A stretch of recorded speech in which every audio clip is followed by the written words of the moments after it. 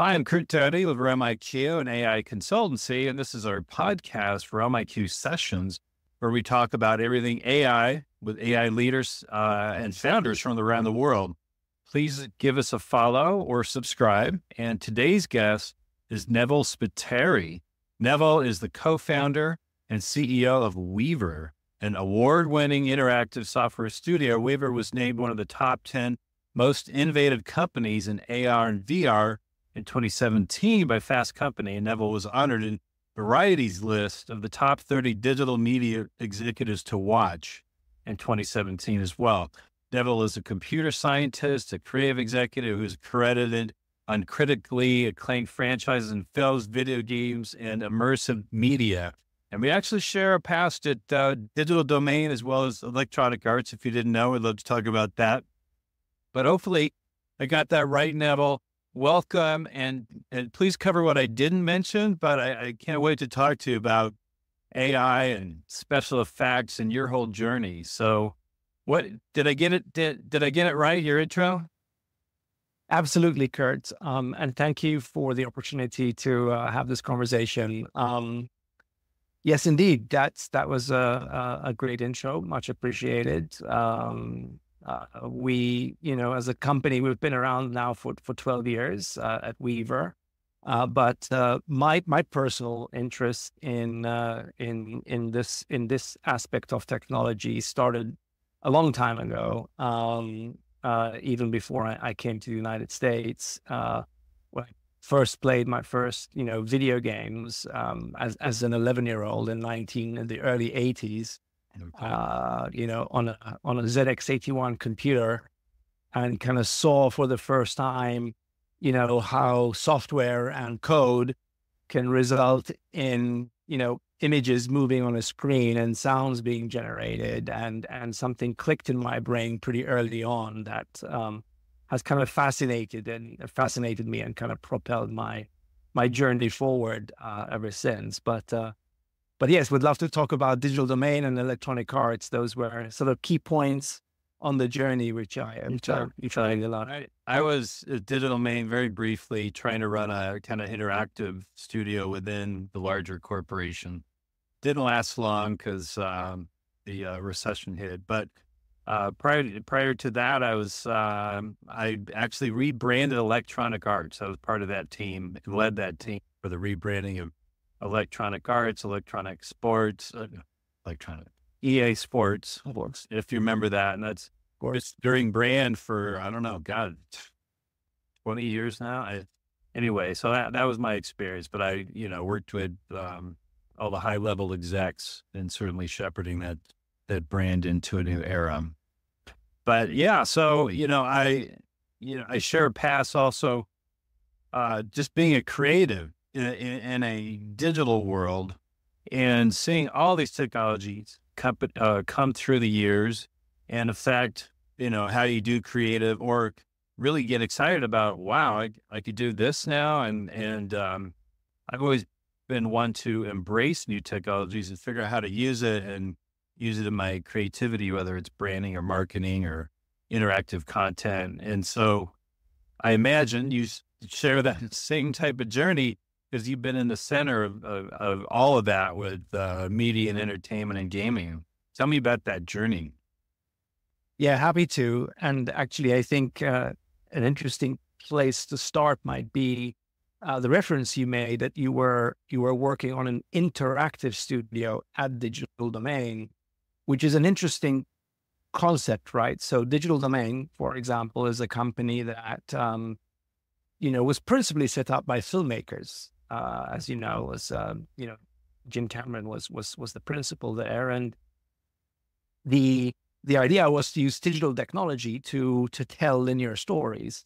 Um, um, but of course, from you know from from an early stage, right around the you know in the early '90s, there was also the beginnings of of of 3D video games and the use of um, software and technology to create interactive uh, media and experiences. And um, by and large, you know, for the first for those those first couple of decades there, the you know sort of the, the, the evolution of of gaming and video gaming and video game development um, and film and linear narrative. We're sort of parallel tracks, but kind of sep- separate, real, really separate missions, separate methodologies in terms of how all, all of the uh, content is being produced and created.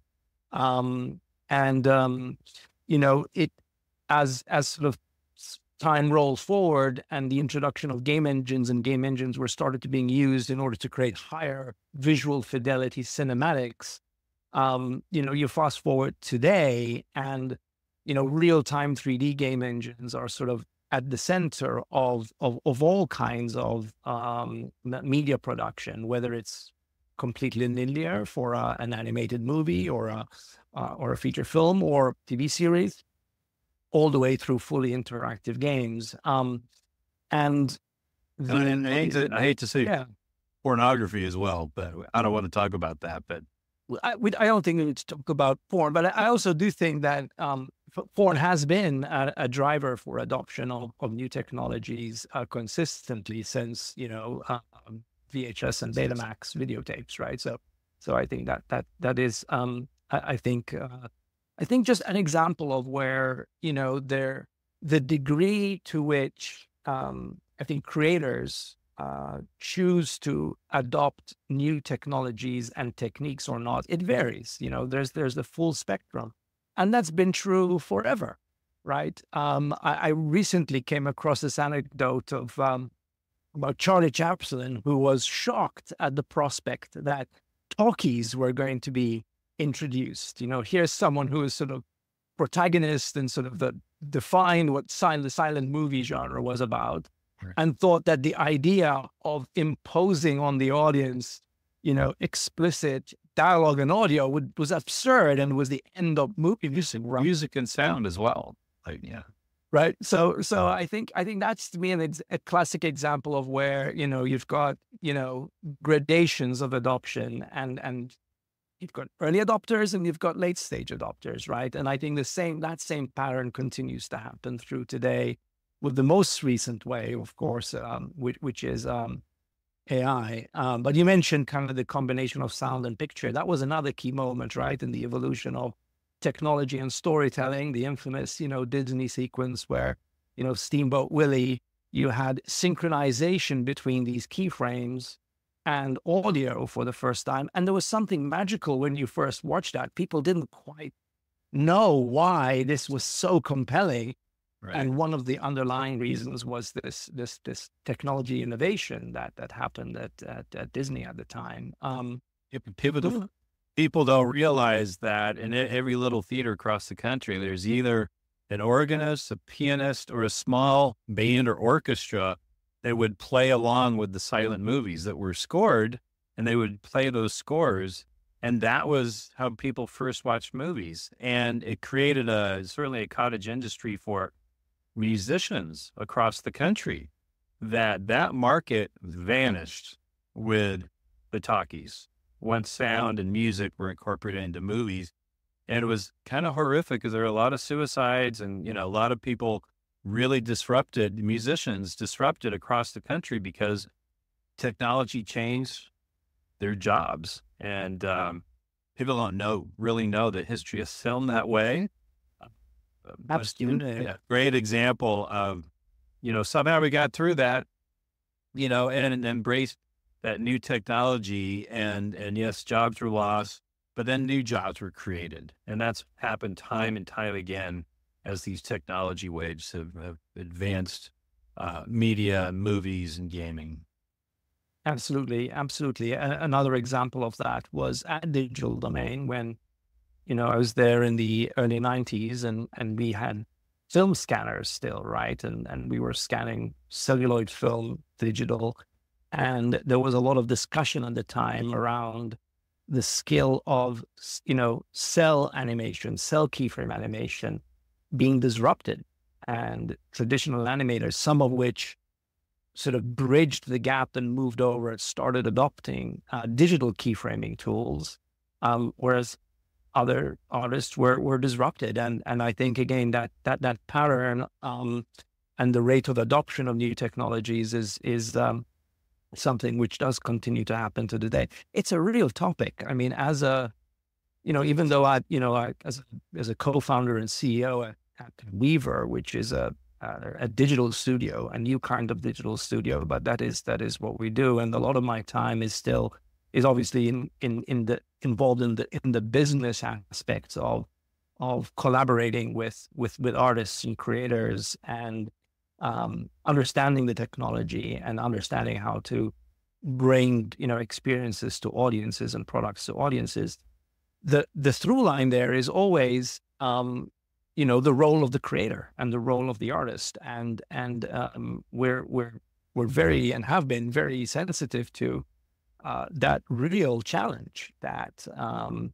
you know new technologies and disruption brings into play and uh, we always try to take the the position of you know um, especially when the cat's out of the bag already right and it, it's it's it's always better to sort of try to lean in and um, learn and be flexible. Um, and some unfortunately end up with, you know, sort of more, more uh, unfortunate or, or less fortunate uh, circumstances than others. But uh, as, as a rule, we've always been like curious, right? We're, we're curious to figure out uh, what's new, what's different, what the opportunities are, and, and how we can kind of you know bridge the gap and transition uh, methodologies and tools and techniques and skill sets and uh, to to keep evolving um, as as as things roll forward and and that you know I think a pattern which I'm sure you appreciate is that the new doesn't completely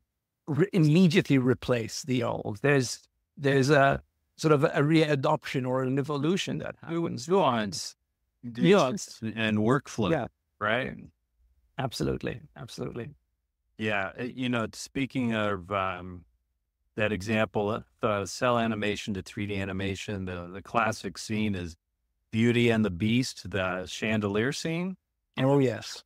Oh, it was like mind blowing. And, you know, it was kind of this weird mixture of the 3D chandelier with the dancing uh, couple. And it was like, okay, yeah, this is the start of something here. And that was way back when. Um, but yeah. if you speak about uh, um, late adopters, I, I believe that Hollywood has been a late adopter um, from either a studio or production or director perspective because of all these issues that were uh, raised through the strikes, right? Through uh, the unions, uh, deep fake technology, copyright infringement as it relates to screenplays, which I believe all those things could be worked out legally if they aren't already.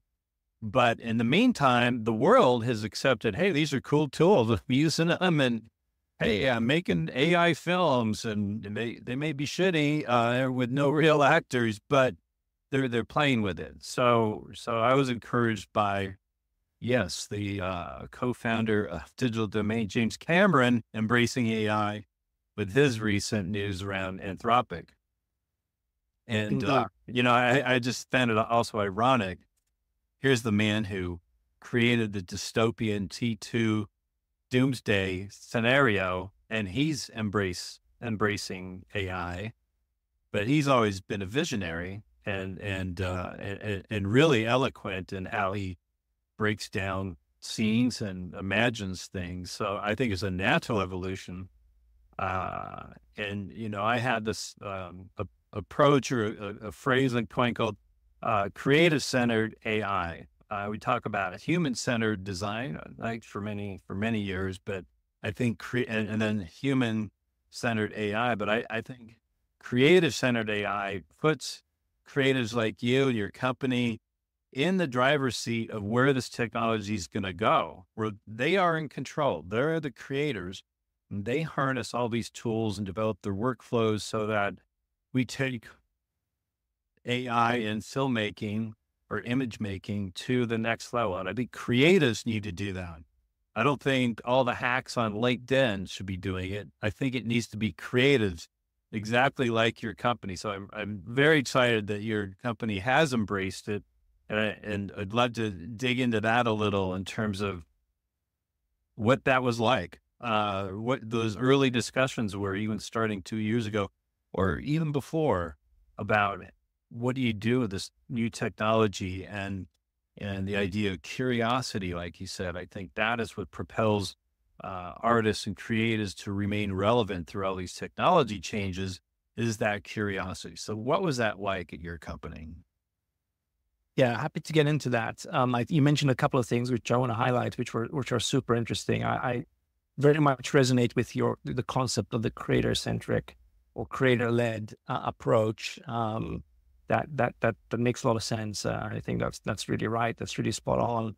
Um, and you also referenced uh, Jim Cameron there for a second, which I think I don't know if you if you got a chance to watch, but he he recently gave a short, a brief talk at the AI robotics conference where he he he articulated, I think, in in a in a, in a really amazing way, probably one of the the, the best articulations of the um, the, the, the potential and the the threats of the technology, broadly speaking, extending beyond uh, using AI for for filmmaking, yeah. uh, but kind of really looking at the the, the topic more broadly, um, and um, the, the you know the whole concept of artificial general intelligence, and it, I think it's I think it's it's really really terrific. As the Skynet guy, you know, he's very forthcoming about about what he sees in his perspective. And I think it's an example of, you know, a kind of a well balanced, yes, I'm adopting, yes, I'm taking a board seat with a,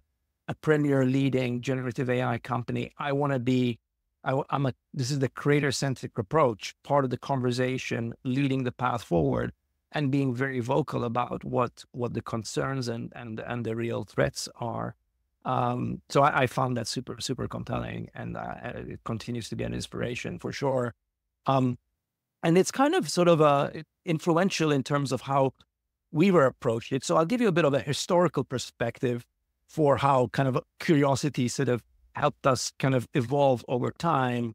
Um, but I, you know, the, the idea of, or the concept of using software to create, to create is goes back a while, right? And it's a degree to which you are now employing um, machinery and software algorithms to further automate and enhance whatever it is that you're doing. So for a, classic example was, you know, the beginning of sort of procedural animation, where in addition to keyframing, you could could could simulate, you could write software that could now simulate very complex particle systems or wave motions or uh, physics of objects colliding and things getting destroyed and built up these are all sort of um, uh, techniques, right, and tools which are based on the uh, on the use of an algorithm that executes on a on a on a computer, um, and and the uh, which is an art form in and of itself. I mean, the the software engineering that's involved in in designing those systems and, and creating those systems is is really is really an art form. So there's been a a very long sort of continuous precedent for um, how WEVR, you know, with with all along, you know, when we we we use, I mean, I was part of the team that before we we started at WEVR, even that like was part of the Maya 1.0, the precursor to Maya 1.0, which is a 3D animation software system. But we still use Maya at WEVR today, right? Uh, 30 plus years later.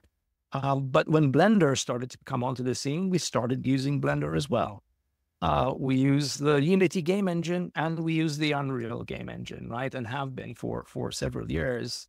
Uh, started using Unreal at at, at Electronic Arts, um, and so inherent in our business as the studio is to and and our clients demand this of ourselves, right? So we're we are we are fired in a sense in order to really bring to bear um, the, the cutting edge, what what is now possible that wasn't possible two years ago or or even six months ago, right? And so it's kind of our it's our business to to know and understand and, and learn. Um, and um, but the, but that doesn't mean, like I said, we're still using Maya, right? So that's an example of how some tools continue to be used and evolved over a long period of time. I think where um, where we started and you know early on and my co-founder anthony batts has been kind of looking at um, and has been an early fan of uh, generative ai tools right from the very beginning of when there was sort of more general discourse about it online in the last couple of years. Um, you know, but I studied AI and when I was in college 30 years ago. So I've been I've been on this track also personally for for some time and never actively got involved with with with doing much with it until became really fascinated with artificial life um, and and kind of early neural net research, uh, but again didn't really apply it. But as these tools started to kind of roll out and are publicly available, which is the other remarkable thing, right? Like it used to be that you had to go to ILM to figure out some new cool movie making technique because it's the only place in the world where you could access that. AI, ILM, all those places, right? Precisely. Now it's like, you know, sort of, you know, uh, you know, OpenAI rolls out uh, beta for Sora and fun. fun. And and everyone in the world has access to it. Not everyone in the world, but a point being it's it's it's much more broadly distributed and accessible, which is a key difference, right? I think this comes back to both WEVR and our and our approach, right? Realizing that other people are going to figure this out if if we don't. Right. Right. So so I mean the the, the level field the, the the the playing field is leveled, right? Uh, in and of in and of itself, especially with um, the introduction of, of of open source, which is a which is a very interesting sort of subtopic in and of itself, right? proprietary generative AI tools versus um, open source tools, uh, which are both, you know, pretty much equally equally capable. Um, but the real point that is for us, we so early on, it's like this is happening. Let's let's let's start to actually use the craft. Let's let's become let be creators ourselves. Let's experiment and learn. Um, and more concretely, we're we're currently um, in the middle of production on a on an immersive show, uh, which will be announced um, shortly before the end of the year.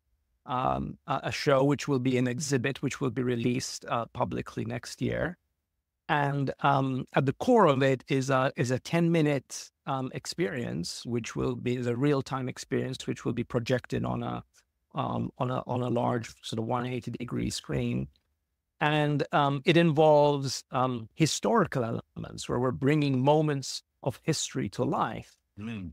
And and that's a fascinating topic because we're we're having to realize that um, historic documentation isn't perfectly accurate. We don't know ex- always exactly what happened. So there, and there may or may not be a picture of what you're talking about.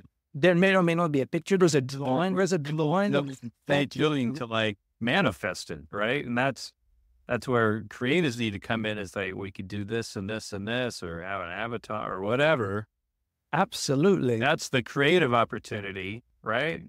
That's exactly that's exactly it. And and it is a it is an artistic, it is a creator's interpretation. Even you see some of these these statues that were that were created that were created by artists that maybe were past the point of time. Well, yeah, I mean, I, so that artistic Michelangelo wasn't using photographs to like kind of make his good use, right? It's like he's observing and interpreting. That's all part of it. Observing and interpreting. Part of uh, artistic process. I, I'm a classically trained artist, illustrator. That's how I started. So I appreciate the fact, certainly, uh, of that skill of observation and and uh, rendering something or, or, or, interpreting it into some type of creative manifestation. Uh, and but that's done on the shoulders of all the heroes of art through the centuries, right? And and this brings up another controversy around AI is the scraping of the internet, which I call the original sin, right? It's like we did it, it's done, the genie's out of the bottle, we can't put it back, but it happened. Uh, moving forward, can there be more ethical sourced uh, platforms that license licenses and uh, you know authors to to make it more ethical to use? Uh, sure, I hope so, and I think that will work itself out in time. But this idea that um, an artist whose work is affected because somehow a guy sitting in his basement in uh, Pacoima somehow conjured up this image through Midjourney that kind of looks like this guy's art in uh, France. Mm-hmm. But the the whole idea of this diffusion technology, it ingests everything from the internet and then blows it into a million pixels. And then through the algorithm and predictive analytics, the guy at Pacoima kind of reassembles it in a way based on a prompt, but it, it doesn't really exactly replicate this painting that was scraped in France. Right. So, but then as artists, I've always been influenced by artists and through the ages, classical and modern, and say, yeah, and I pay homage to Andy Warhol, I pay homage to Michelangelo, whatever, because uh, we're all learning from these greats and and reinterpreting uh, a, a new subject matter in a way that references certainly our heroes of the past. So what do you think about all the ethics around around all of that? Fascinating topic, and I, I, I do I like your referring to the the original sin, um, where there was, you know, you could argue a blatant disrespect for a core concept in art and creativity, which is attribution. You attribute your derivative work to the creator that came before and there's there is a there is an established understood uh, ethical process um, even in the creative commons which is an open source you know sort of format for uh, sharing uh, works of art right. you attribute and there's a chain of attribution. And and i think that that is a there's no reason why and i certainly hope and i believe is will be the case that there as legislation and regulation sort of layers come into place there will emerge a new more ethical model where um, there's much more clear attribution and um, use of data that is uh, done, you know, sort of responsibly and adheres to certain guidelines. So my personal view, which I think is also the position that our company takes as a whole, is that, um, uh, yeah, that needs to be worked out. And as much as we can help contributing towards working that out, that that is really important. I think we will move to a world where, um, you know, uh, th- there will be a choice that people have whether to use a certain model or another based on the standards that are upheld by the the, the training systems um, yes. behind that model. And so, um, in a sense, it was kind of like this is a terrible analogy, but I'm going to mention it anyway because it came to mind. But like, you know, when MP3s exploded everywhere, and everyone was like, "This, this crazy! It was blatant piracy! Like, shut it down!" And and eventually, it got shut down because it was piracy. Um, but the the technology of encoding, um, you know, audio in a new way that was easier to distribute, blah blah blah, all of that was, you know, really good, and ultimately, I think, helped distribution. So Apple, Apple came in and saved the day there. In that case, created a whole new industry. They because they monetized it. They made deal that monetized it. So yeah. and make it somewhat legitimate. So anyway, I, I, that's probably not a good analogy, but I think the point being the similarity there being here that that yes, um, you know, uh, we we we very much think about that constantly, and even in the choices we're making in the productions that we're doing, we're we're very careful about um, uh, ensuring that we understand the sources, and it's it gets tricky. It's a blurry line, like you said. Like, at what point is this? it is derivative. I'm, I'm, using a tool. It's not exactly the same thing, but it's clearly probably influenced by this data that was in there. So how do we appropriately, you know, attribute um, uh, the data sources that were? Well, what, what's interesting, um, see, I, I think uh, we should be using AI to combat the negative uses of AI. And I also think it's an opportunity to use blockchain to actually work through those uh, attributes and contracts and monetize that whole deal flow I, I believe someone's working on that because that's an opportunity in a new economy.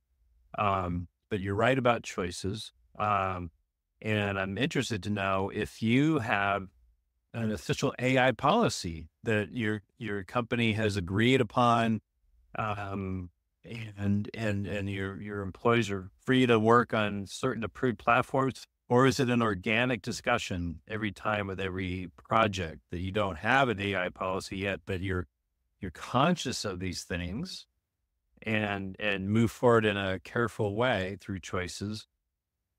So how is it? What's your policy? Do you have one? Right. So so we our policy is to be explicit to discuss every move we make. So we have a policy that is not written up somewhere and it's in a filing cabinet, right? Like that does that there is no such thing.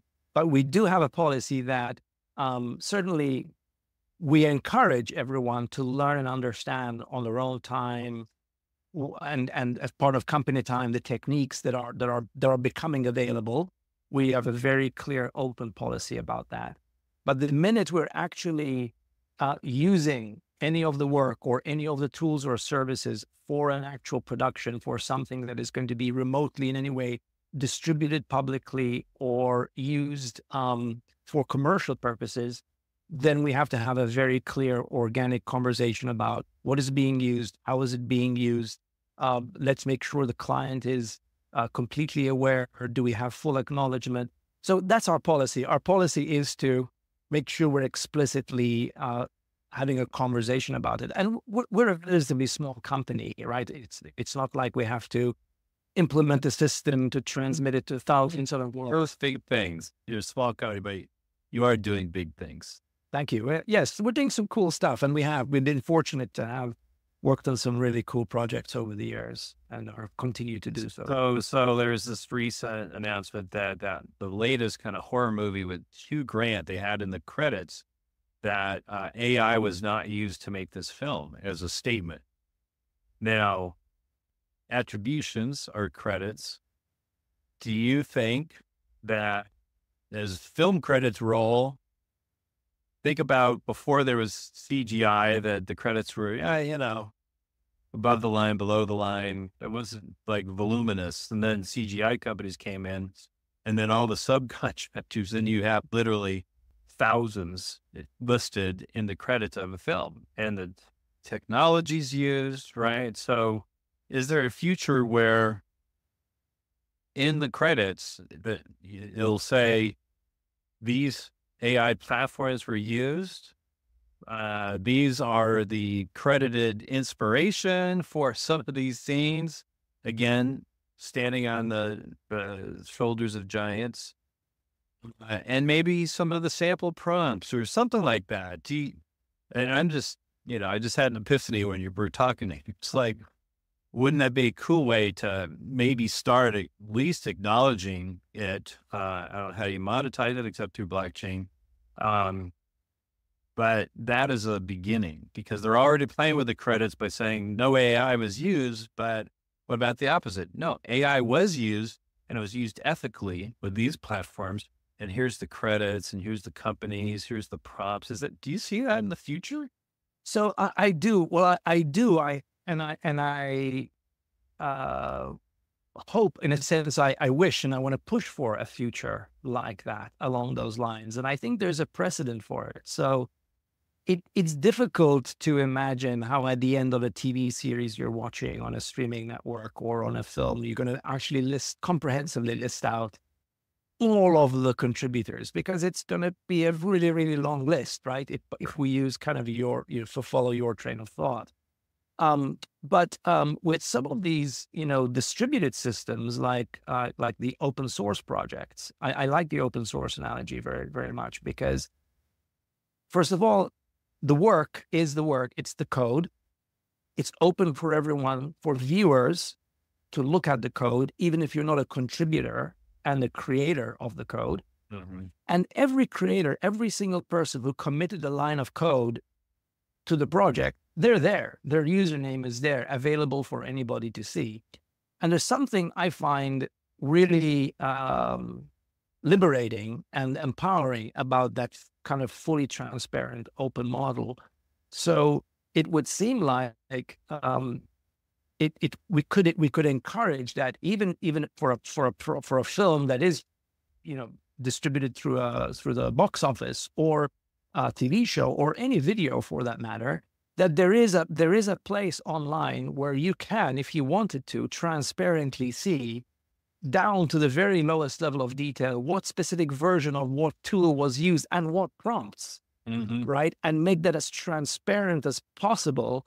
Um, and i think i think that everybody benefits from that um, you know so so yeah it's not gonna sure from an education perspective from a moral perspective from a, a legal perspective there there are ways right and it takes I really creative people to like imagine that uh, and embrace that and then the legal will follow but you need someone to break the ice and just say well, this is the way we're doing it. And uh, we're putting it in the credits. We're listing our open source code credits. And yeah, I mean, why not? I mean, uh, I don't know. It's, it's, it, it's got to start somewhere. And honestly, I think we're headed, headed towards a deregulation uh, future, not a regulated future, because this, this next administration is going to be very big tech friendly and not legal friendly, not monopolistic, uh, or they'll be monopolistic friendly.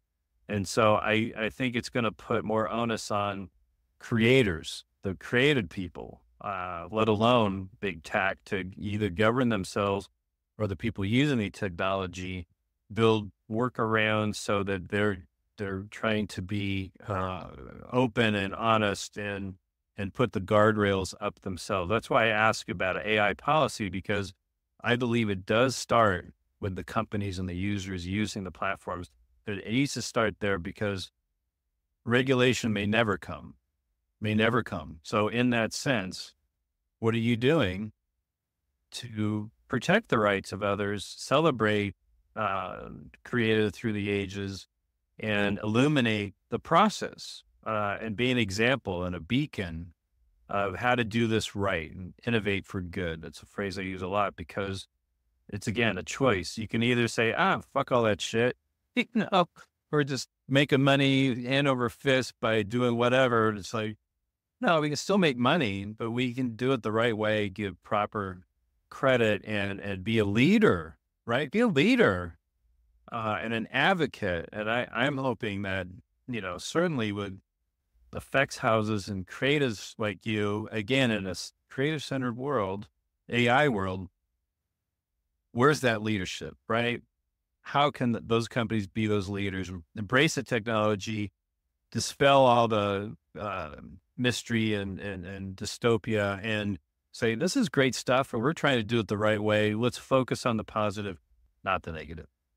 I love that. I love that, Curt. I think that's um, that's spot on. And I resonate with that because that is our, our approach. I think our, our, our idea at WEVR right now is to lead by example. We're not going to necessarily set up some foundation and try to claim that this is the AI policy that everyone should follow. We're actually sort of saying, let's let's get some real productions out there, which will which will be launching next year.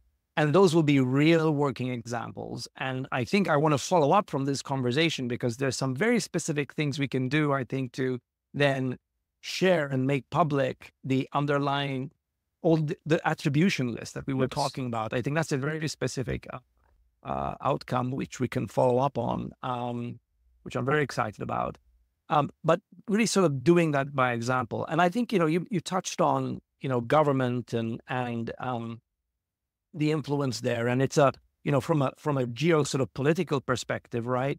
You've got there a whole range of levels of regulation, the EU being potentially on one end of the scale and, and other countries being on, on, on the other.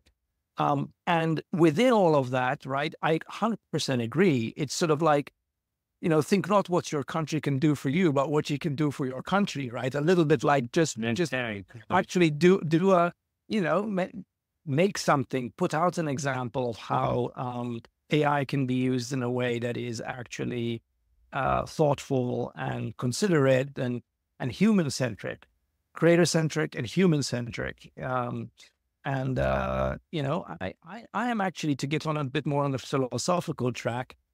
In general, like I, I think we are heading towards a, you know, a sort of a a world where we have now a silicon based intelligent entity that humans are going to have to deal with, uh, that we are no longer at the top of the, you know, intelligence chain.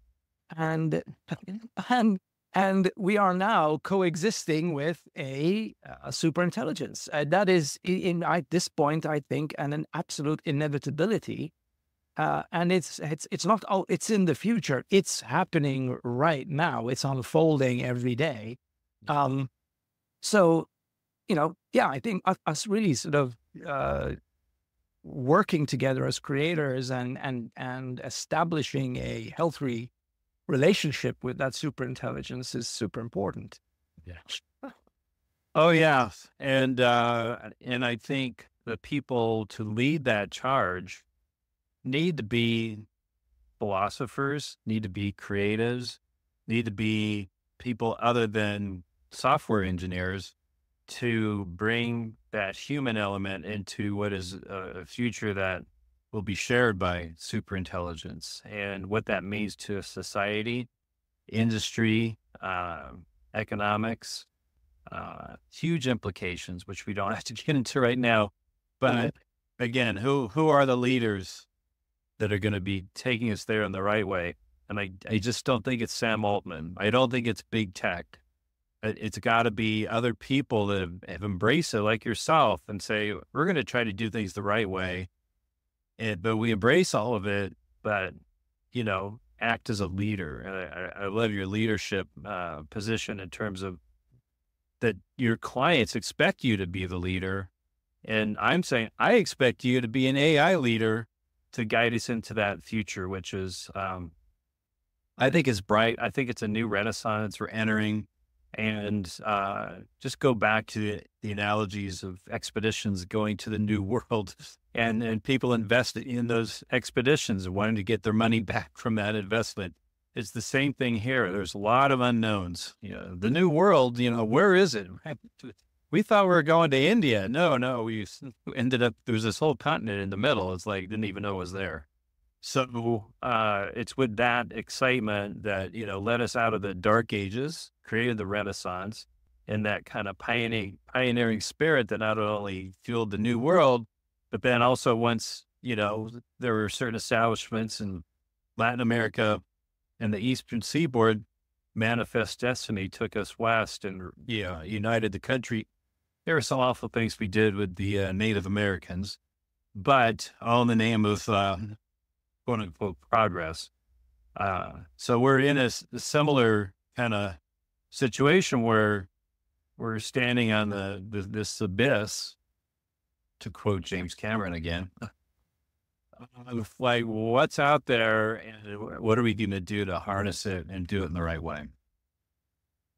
I I I, very much uh, yeah agree with that and resonate with that. And uh, the analogy of of the you know traveling to a new world is is I think very very germane, very uh, uh, representative of where uh, technologically I think um, we're at, uh, specifically as creators and um, uh, artists, right, that are in, in in the business of creating media and, and entertainment and education, um, and that the the uh, the when even before the AI wave, right, it's really sort of hit in the last few years. There was a lot of talk even a couple of years ago about the, the metaverse, right? And and we are increasingly using 3D technology. We uh, you can sort of see a shift from 2D based websites to and applications to uh,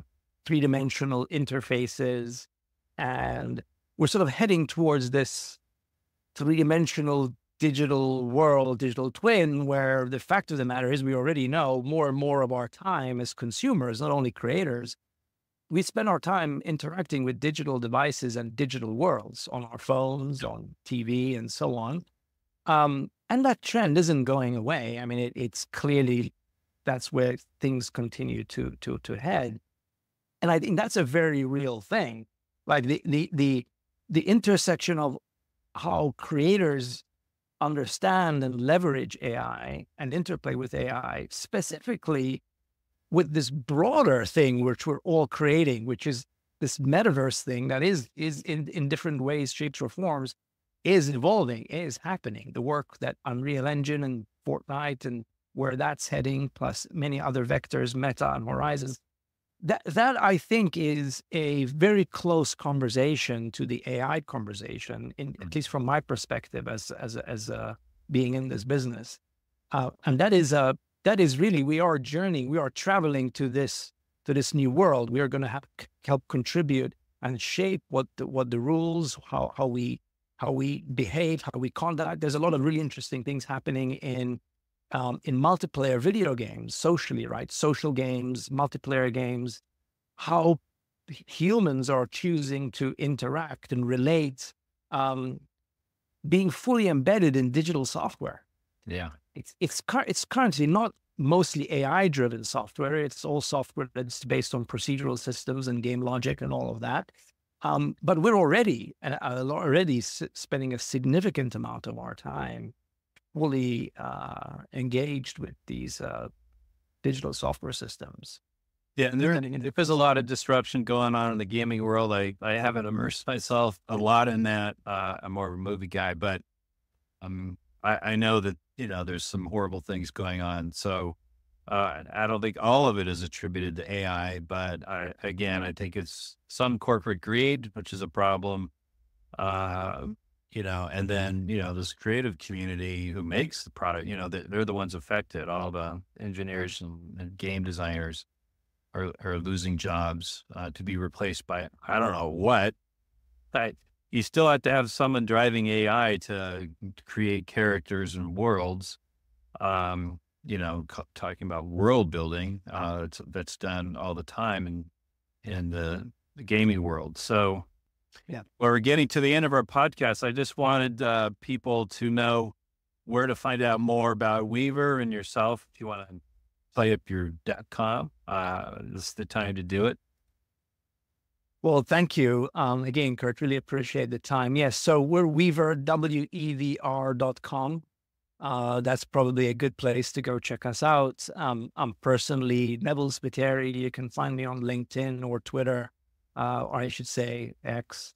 Um, need to get off of X. Need to go to Bluesky, by the way. But so I'm I'm all for that. Um, you know, I think the more platforms, the better. Um, I'm a fan of Bluesky too. Cool. Cool. So thanks, Neville. Definitely want to have you back. Want to hear more about the launch of your new product. And really, this has been a very exciting conversation for me because uh, because of my background and our similar backgrounds. And you're kind of the first kind of special effects uh, person that I've talked to about AI. And I think you guys and your team are the ones that are going to take it to the next, take AI to the next level. So, uh, everyone tuning in, uh, thanks so much. It's more of our RealmIQ sessions on your favorite podcast platforms like Spotify, Apple Podcasts, Amazon Music, uh, and YouTube. And please follow and smash that subscribe button. And if you're in Spotify, download the, these episodes and keep them on your phone while you're traveling or flying. Uh, there's some fascinating conversations. So thanks again, Neville, and uh, have a great day. Absolutely. Thank you.